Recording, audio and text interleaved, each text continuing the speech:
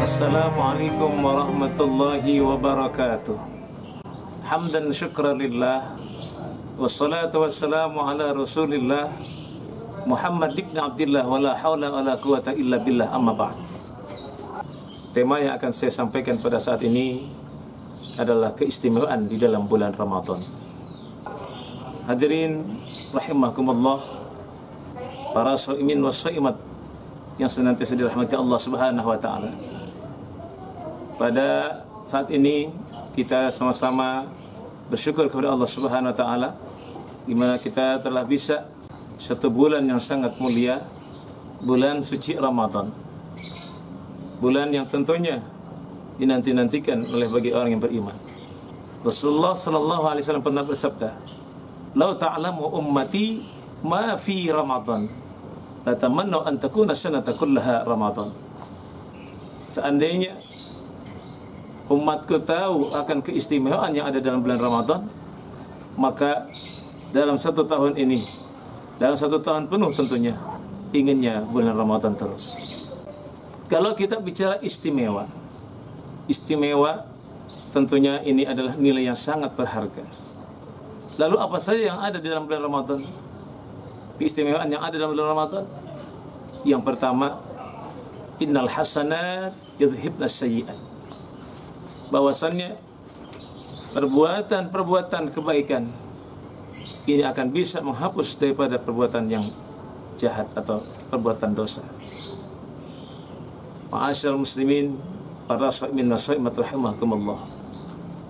Kita dianjurkan untuk bisa melaksanakan salat tarawih atau qiyamul lail pada malam harinya.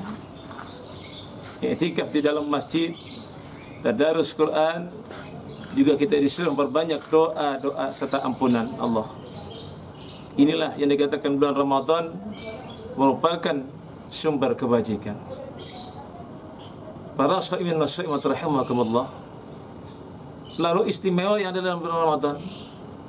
Yang kedua adalah wa ta'atu makbulah. Ketaatan kita kepada Allah Subhanahu wa taala ini sangat diterima. Patuh atau taat yang dilakukan oleh seorang hamba kepada Allah Subhanahu wa taala di dalam bulan Ramadan ini tentunya akan diterima dan dikabulkan Allah Subhanahu wa taala. Ini adalah berkat daripada keagungan bulan suci yang sangat mulia. Lalu yang ketiga adalah da'awatul mustajabah. Setiap doa yang dimohonkan oleh seorang hamba di dalam bulan Ramadan mustajab pasti dikabul oleh Allah Subhanahu wa taala. Apalagi saat ini negara kita sedang dilanda oleh satu wabah pandemi Covid-19.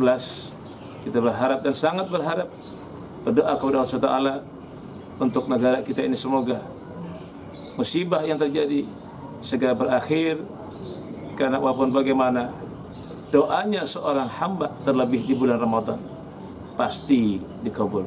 Ber'auni astajib lakum.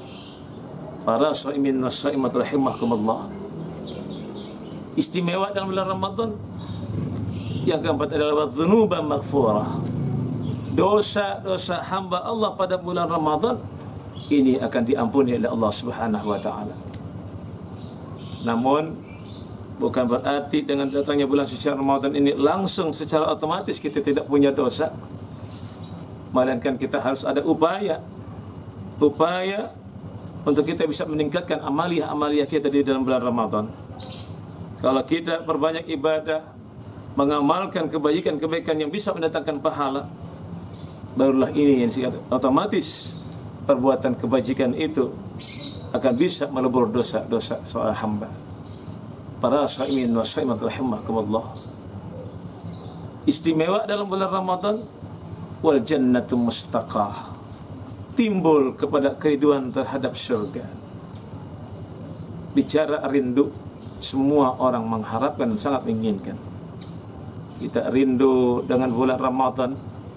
Kita ingin bisa melaksanakan ibadah tarawih bersama berjamaah di masjid di musola. Kita rindu yang sekolah supaya bisa kembali lagi sekolah dengan baik dengan tenang. Apalagi ini yang merindukan adalah surga. dengan timbul kerinduan terhadap surga bulan Ramadan dengan segala kesempatan ini bisa melaksanakan ibadah dan akan menumbuhkan kerinduan kita kecintaan kita terhadap surganya Allah Subhanahu wa taala.